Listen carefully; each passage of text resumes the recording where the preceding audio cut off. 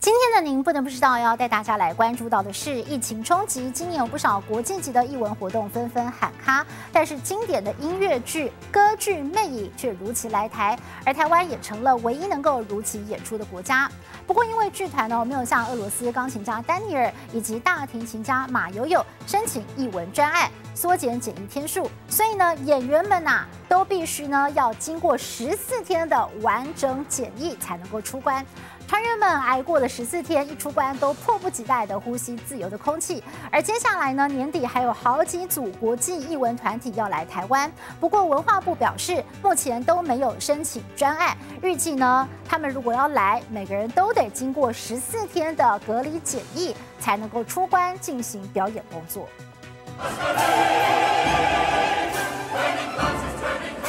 震撼歌舞打动人心，经典音乐剧《歌剧魅影》第四度来台，但是疫情期间没有特别申请专案，剧团将近一百三十人，通通经过十四天扎实的居家检疫才能出关。Quarantine for me was like a big break,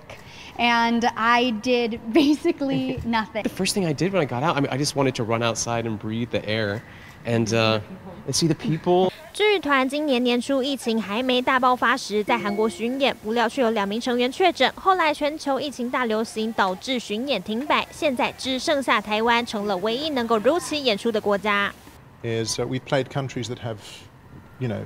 cases of COVID, not like Taiwan, which which magically is probably the best in the world. 受到疫情影响，今年国际表演者来台数量大大减少。上个月的俄罗斯钢琴家演奏会，还有这个月的大提琴家马友友，都是申请专案，透过译文泡泡模式缩短检疫天数，但演奏时必须佩戴口罩。而年底接下来还会有国际知名的踢踏舞剧《火焰之舞》和《狮子王》电影的交响音乐会。文化部表示，目前这两组表演团体都没有特别申请专案，将会配和国内防疫居家检疫十四天，才会进行演出准备。记者周婷、甘尔蒂台报道。